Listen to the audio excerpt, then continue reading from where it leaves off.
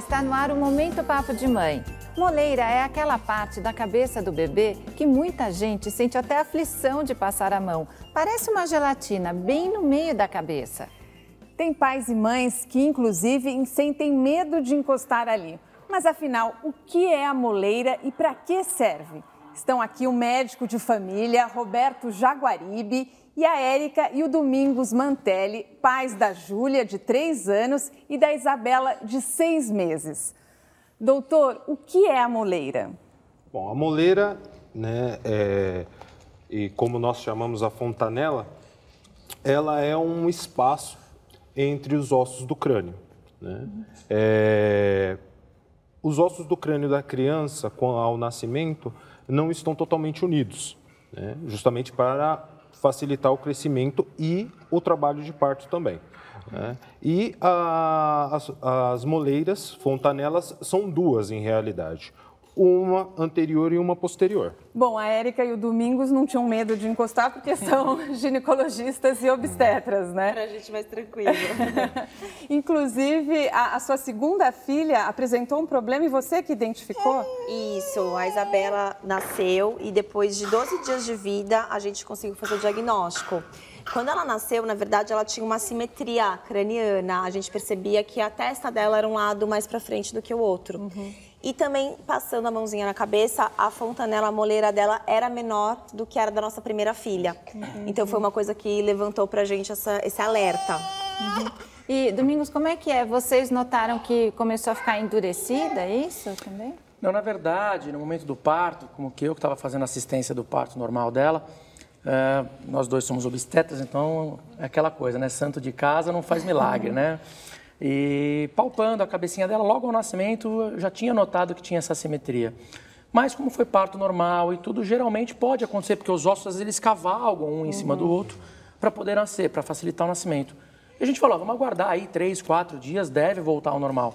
E a gente viu que não voltava. Uhum. Não voltava ao normal, não voltava ao normal, e a gente sentia essa simetria. Uhum. Até o momento que a gente levou no pediatra, o pediatra olhou, comentou que talvez pudesse voltar ao normal também, mas que na dúvida era melhor a gente fazer uma tomografia para dar uma olhadinha e saber o que estava acontecendo.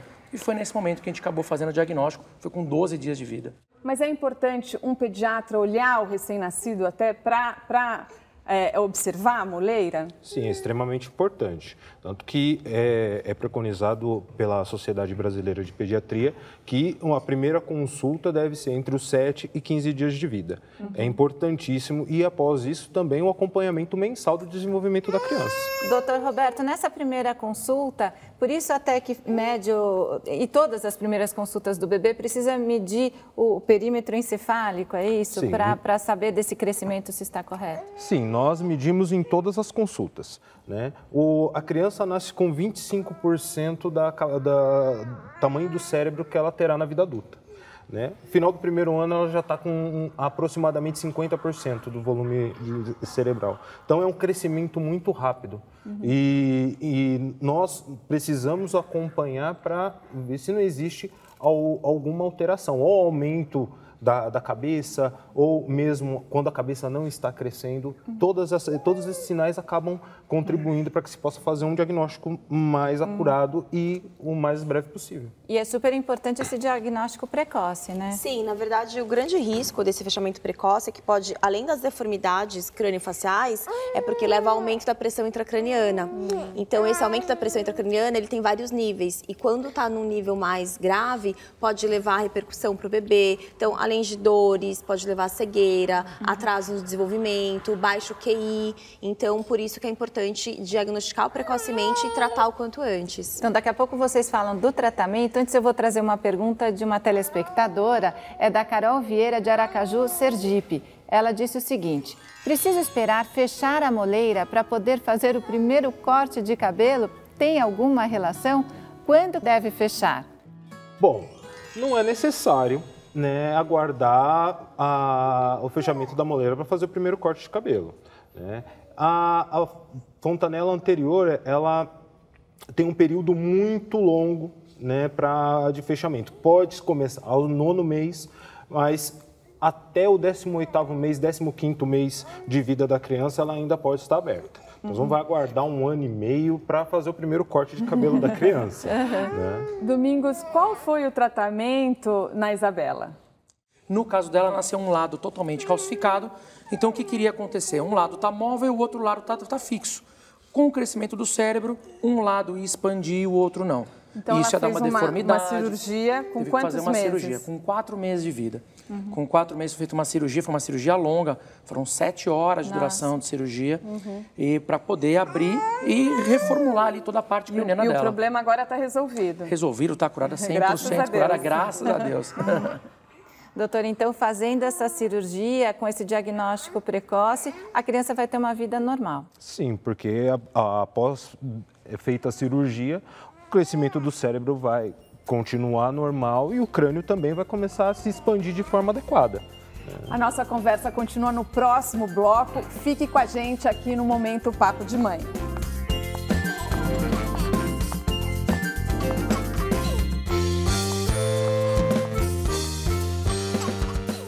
Estamos de volta com o Momento Papo de Mãe. A Isabela teve crânioestenose. Doutor, quais outros problemas os pais precisam ficar atentos em relação à moleira? Bom, existem vários problemas que podem acometer essa a questão do crânio, mas o importante é observar na moleira a, como, ela, como ela se encontra. Ela pulsa, isso é uma coisa normal. Quando a criança chora, ela vai pulsar mais e mais rápido, isso não é um motivo de preocupação. Mas é, observar se ela está afundada, por exemplo, um caso de uma criança que está com, com um quadro respiratório ou uma diarreia e tem um afundamento da fontanela, significa que a criança pode estar desidratada. Também o aumento, da, o abaulamento dela também é bastante importante. Pode é, significar doenças que aumentam a pressão dentro do crânio. E ela pode demorar a fechar também? Ah, é, o fechamento dela, como eu falei, ela tem um período muito longo de tempo, né? Dos nove meses até 13, 15 meses, né? Então, é, pode-se fechar aos nove meses, se fechar aos 10, aos 11, a um ano, isso não é um sinal de anormalidade, né? Mas o pediatra sempre tem que acompanhar essa criança para que observe se isso está dentro da normalidade mesmo ou se é o sinal de alguma, alguma alteração. Uhum. E os pais acho que ficam com muito medo, né? Aquela história de passar a mão. Pode passar a mão na moleira, não tem problema, Não né? pode passar a mão na cabeça, tudo. O que não é legal é ficar apertando, né? De uma, de uma pressão muito intensa. Mas passar até para sentir realmente essa pulsação, ou se perceber que está mais afundada, ou de repente ela mais inchadinha, é importante os pais notarem. Mas não precisa ter medo de encostar, né? Porque antigamente tinha esse mito, né? Que se apertar a criança pode morrer, alguma coisa, isso era difundido. E como foi a recuperação dela?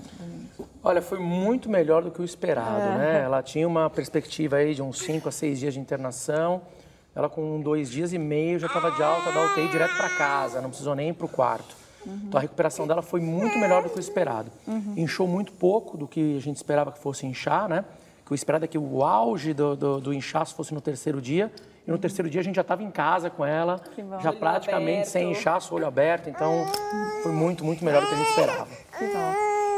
Tem algumas infecções, doutor, que são até diagnosticadas pela moleira. Quando leva a criança para um PS, as mães falam muito, por exemplo, na meningite, tem uma alteração na moleira quando a criança está. Sim, é, na meningite um dos sinais é esse abaulamento né, da, da fontanela. Ela fica muito alta, né? E fora isso existem outros, outros sintomas, né? Mas é, sempre que a gente vê um, o abaulamento da, da, da moleira é sinal de que aumento da pressão dentro do crânio, né? Que existe esse aumento de pressão. E isso é um quadro grave. Aí precisa tratar. Exatamente. Existem outras doenças, por exemplo, a hidrocefalia. A moleiras, ela- elas demoram para fechar, é isso, doutor? Sim, elas podem demorar para fechar justamente porque o aumento do líquido dentro do crânio faz com que a cabeça vá aumentando de tamanho. Então, os ossos tendem a não se fusionarem justamente para poder abrigar aquela quantidade de líquido que tem dentro da cabeça. E hoje, como é que está o crescimento da cabeça dela? É incrível. É, o, assim, o diagnóstico é realmente muito difícil para os pais entenderem, aceitarem, mas é curativa a cirurgia. Então, tudo mudou. Ela teve desenvolvimento normal, então esse perímetro cefálico que o pediatra acompanha mês a mês, o dela já entrou na curva da normalidade, porque antes estava realmente um pouquinho menor. Então, assim, o desenvolvimento dela tá maravilhoso. Uhum. Super recente depois da cirurgia, mas já melhorou muito. E a gente aprendeu aqui, então, que são duas moleiras e uma facilita o parto, né? Isso. É isso, É, doutor? na verdade, quando a gente faz o toque vaginal, né, o que a gente sente, na verdade, são as moleiras. É. E através da posição das moleiras, a gente sabe a posição que o bebê está dentro da barriga. Então, o que facilita para a gente saber posição de parto. E, e, às vezes, quando a criança nasce de parto normal, existe uma deformidade no- na cabeça, mas é normal, por Sim. causa do parto normal. Exatamente, Os até pais por não causa- precisam se preocupar. Sim, por causa do inchaço, a posição, às vezes o período expulsivo é muito prolongado, então a criança fica de cabeça para baixo e por causa das contrações uterinas, da musculatura da pelve, tudo apertando, aí pode levar a um inchaço, parece um cone muitas vezes, mas isso tende a regredir por volta de três, quatro dias, vai uma semana aí no máximo.